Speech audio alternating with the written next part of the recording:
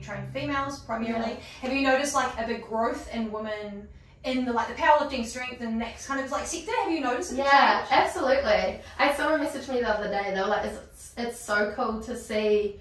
so many women getting into powerlifting. Powerlifting's a very male dominated sport.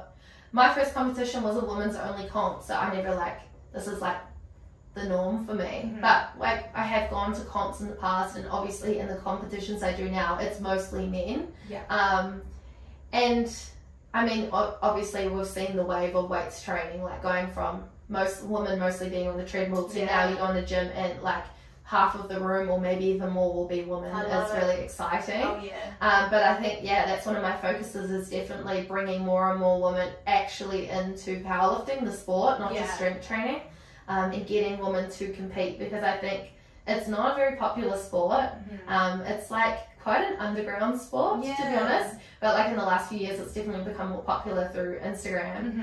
with um, males and females. And then I think it's just actually getting women into these competitions because it can be quite scary.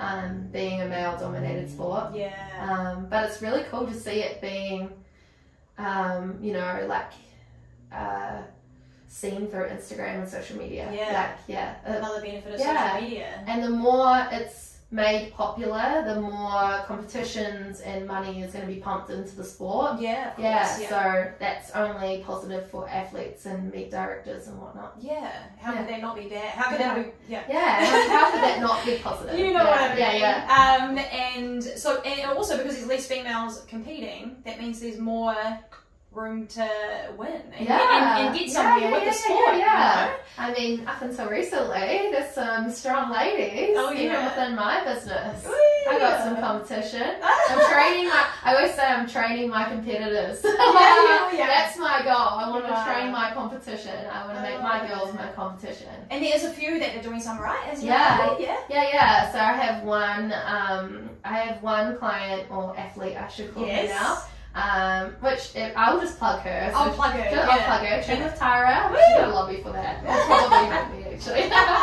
um, so yeah, like she's squatting more than me now. I've I've literally coached her for the last nine months, and she's put 40 kgs on her squat. Wow. Um, so she's like, she, yesterday she squatted 150 for two. And my squat's 142.5. Oh, she started with a 110 squat. Oh, um, but it's cool. Like, I I think I posted on Instagram a few months ago. Like I'm not. I started as doing that sport for myself to like I like I wanted to win